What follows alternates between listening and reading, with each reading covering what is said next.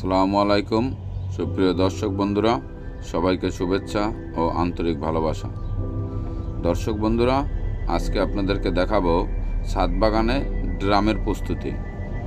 আজকে আমরা ছাদ বাগানে সবজি গাছের ড্রাম প্রস্তুতি আপনাদেরকে দেখাবো এবং আমরা কোনো পায়রা কেমিক্যাল ব্যবহার করি না, কেমিক্যাল সার ব্যবহার করি না। সম্পূর্ণ জৈব প্রকৃতিতে মাটি, জৈব সার, কোকোপিট আর সরিষার খোল দিয়ে কীভাবে আমরা ড্রাম প্রস্তুতি করি, সেটি আজকে আপনাদেরকে দেখাবো।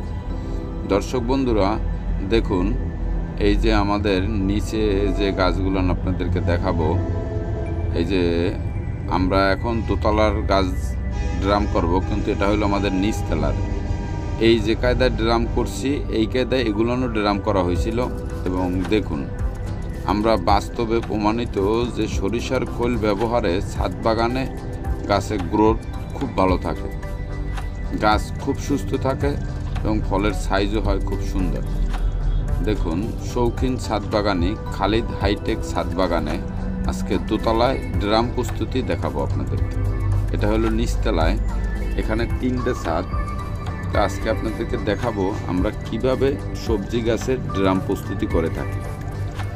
দর্শক বন্ধুরা, এই যে দেখুন, আমরা বড় ড্রামগুলো নিয়েছি। এগুলোর নিচে ফুটো করা হয়েছে, ফুটার উপরে ইটের টুকরো দেওয়া হয়েছে। ইটের টুকরোর উপরে আমরা একশো গ্রাম, দেড়শো গ্রাম সরিষার খোল দিয়েছি। তারপরে মাটি, কোকোপিট। এই যেরকম কোকোপিট মিলিয়ে দিয়েছি। তারপরে এই যে আমাদের গাছের যে ঢালপালা, পাতা পরা যেগুলান আছে ওইগুলান আমরা ড্রামে করিয়া পচাইয়া জৈব বানাইছি। ড্রামে এক দেড় মাস, দুই মাস রাখলে পরে জৈব হয়ে যায়। এই যে দেখুন, এই আমরা পচা পাতাগুলান রে একেবারে জৈব করে ফেলেছি। ওগুলান ওই মাটি আর খৈলের উপরে, মাটির সঙ্গে গোবর মিলানো আছে। মাটি আর খৈলের উপরে আমরা ওইটা দিব। এই যে দিয়েছি, দেখছেন?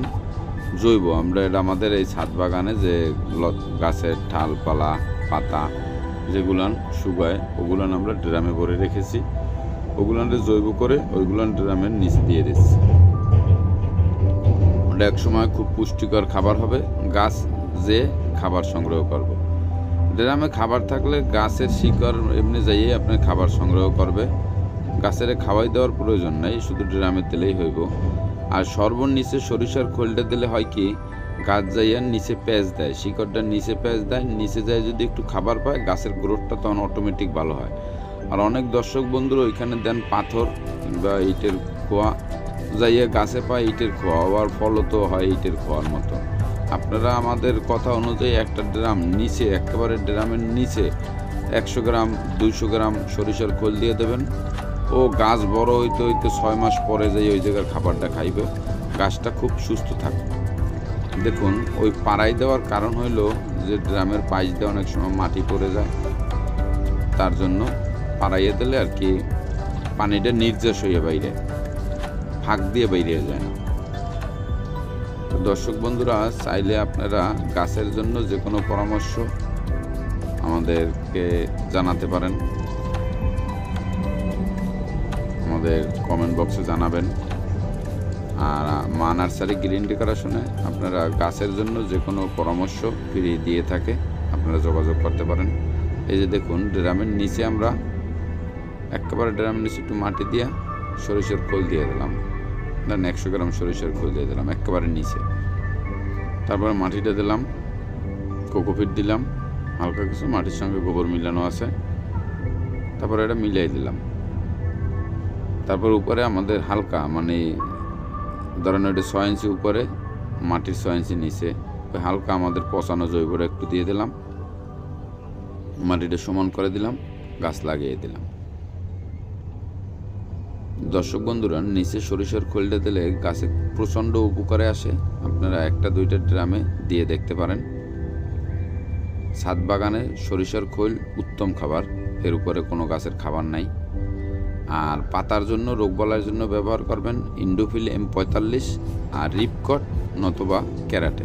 দুইটার যে কোনো একটা আর ইন্ডোফিল। গাছের দেখবেন ফাঙ্গাসও আসবে না রোগবালাইও কম আসবে। এই যে দেখুন, আমরা হালকা কোকোপিট দিয়ে দিচ্ছি। মানে এটা আমাদের মাটির যে উপরের স্তরের তিন চার ইঞ্চি কিংবা ছয় ইঞ্চি নিচে। গাছের ছোট শিকারগুলো না, এটা আবরণ দিয়ে রাখবে আর বড় শিকারগুলো সরিষার কোল খাবে। তো দর্শক বন্ধুরা, তাহলে এমনি ফলযোগ আছে? প্রচণ্ড ফল আসবে খাবার দিলে অবশ্যই গাছে ফল আসে এই প্রক্রিয়া আপনারাও ছাদ বাগানের ড্রাম প্রস্তুতি করতে পারেন। এই যে আমরা মাটি দিয়ে দিয়েছি। এই যে এই ড্রামগুলো এগুলো আমরা এখন মাটি দেব, তারপরে কোকোপিট দেব।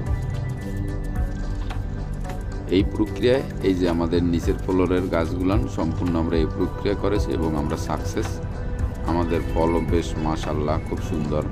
গাছের চেহারাও পরিপুষ্ট আছে, খুব সুন্দর আছে। এখন আমরা দোতলার ছাদে করতেছি। উপরে আরও একটা ছাদ আছে। ওই ছাদের ভিডিও আপনাদেরকে দেখাবো। আমরা এগুলো কীভাবে সবজি লাগিয়েছি, সে ভিডিও আপনাদেরকে সামনের ভিডিওতে দেখাবো। দর্শক বন্ধুরা, আপনারা চাইলে এভাবেই সম্পূর্ণ কেমিক্যাল মুক্ত জৈব প্রকৃতিতে প্রক্রিয়ায় ছাদ বাগানে সবজি চাষ করতে পারেন। বেশি একটা খরচের প্রয়োজন হয় না। ছাদ বাগানে পারিবারিক চাহিদা পূরণ করতে পারেন। এই যে দেখুন, আমরা ওই আমাদের পাতা পচা যেটা জৈব বানিয়েছি, ওর উপরে মাটি দিয়ে দিলাম। হালকা একটু নিচে মানে ড্রামের মাঝে ড্রামের মাঝে আর হালকা একটু পঞ্চাশ গ্রামের মতো সরিষার ফুল দিয়ে দিলাম। এই পাড়াই দেওয়ার অর্থটা কি? এই পাড়াইয়ে দিলে ড্রামের পাশে আর ফাঁক থাকে না। অনেক সময় ড্রামের পাশ দিয়ে মাটি আর ড্রাম লিক হইয়া পানিটা নিচ দিয়ে বের হয়ে যায়, গাছের গোড়ায় যায় না। আর এভাবে একটু পাড়াইয়ে দিলে গাছটা পানি খাইয়া নির্যশ হয়ে পড়বে। আর তাহলে আর ফুটো দিয়ে ফাঁক দিয়ে বের হয়ে যাবে না। নির্যশ হয়ে পড়লে গাছটা পরিপূর্ণ সুস্থ থাকবে। তার জন্য আমরা এভাবে ড্রামের পাশে পাড়াইয়ে দেই কিংবা কোনো লাঠি দিয়ে গুঁতো দিয়ে দেই যাতে ড্রামের পাশে কোনো ফাঁক না থাকে। মাটিটা যেন নির্যশ হয়ে যায়। যেন মাটিটা কোনো ফাঁক দিয়ে, ফুটো দিয়ে পানিটা বের হইতে না পারে, তাহলে আমার গাছের গোড়ায় খাবারটা যাবে না। দর্শক বন্ধুরা, এই প্রক্রিয়া আমরা এই নিচের ছাদ বাগানেও সবজি, ফলজ গাছ করেছি। এই যে তিন নম্বর ছাদের ভিডিও আপনাদেরকে দেখাবো আমরা আগামী ভিডিওতে দেখাবো। তো দর্শক বন্ধুরা, আমাদের কাউসার গ্রিন ফার্ম ইউটিউব চ্যানেলটি আপনারা সাবস্ক্রাইবার করে দিবেন। আমরা সবুজ নিয়ে কাজ করি। আমাদের পাশে থেকে আমাদেরকে সহযোগিতা করবেন। আমাদের কাউসার গ্রিন ফার্ম ইউটিউব চ্যানেলটি আপনারা সাবস্ক্রাইবার করে দিবেন। তো দর্শক বন্ধুরা, এই প্রক্রিয়া আপনারাও ছাদ বাগানে, এই যে সম্পূর্ণ জৈব প্রকৃতিতে, প্রক্রিয়ায় আপনার ছাদ বাগানের ময়লা দিয়েই সার উৎপাদন করে আপনি আবার সবজি খেতে পারেন। এই যে নিচের গাছগুলো সব এই প্রক্রিয়া করা, আর আমরা দেড় মাস পরে পরে একবার সরিষার খোল দিই, মাত্র পঁচিশ গ্রাম করে গোড়া দিয়ে ছয় ইঞ্চি দূরে। সে ভিডিও আমাদের দেওয়া আছে, আপনারা চাইলে দেখতে পারেন। এই যে দর্শক বন্ধুরা, হালকা একটু খোল দিল। এই যে হালকা একটু খোল দিল। তারপরে মাটি দিয়ে দেবে যে একটু হালকা খোল দিয়ে দিল। এই ড্রামগুলোনে আমরা সবজি গাছ লাগাবো। আপনারা চাইলে এই প্রক্রিয়ায় আপনারাও সবজি গাছ লাগাতে পারেন। এই যে উপরে নেট দিয়ে মাছা তৈরি করা হয়েছে। এই যে দেখুন, উপরে বড় কট সুতার জাল দিয়ে মাছা তৈরি করা হয়েছে। আপনারা চাইলে আপনারাও এই প্রক্রিয়ায় ছাদ বাগানে সবজি উৎপাদন করতে পারেন, পারিবারিক চাহিদা পূরণ করতে পারেন। এটা একটা আলাদা মানসিক তৃপ্তি। এই যে সবজির বীজ ভিজিয়েছিলাম, সেগুলো নানছে। ওই সবজি লাগানোর বীজের ভিডিও অন্য আর একটা ভিডিওতে দেব। তো দর্শক বন্ধুরা, আমাদের ভিডিও দেখবেন। আমাদের কাউসার গ্রিন ফার্ম ইউটিউব চ্যানেলটি সাবস্ক্রাইবার করে দিবেন। আমরা সবুজ নিয়ে কাজ করি, আমাদের পাশে থেকে আমাদেরকে সহযোগিতা করবেন। বেশি বেশি গাছ লাগাবেন, ছাদ বাগানে সবজি ও ফলজ গাছ লাগান, পারিবারিক চাহিদা পূরণ করুন। দর্শক বন্ধুরা, সবাই ভালো থাকবেন, সুস্থ থাকবেন, বেশি বেশি গাছ লাগাবেন, আবার দেখা হবে।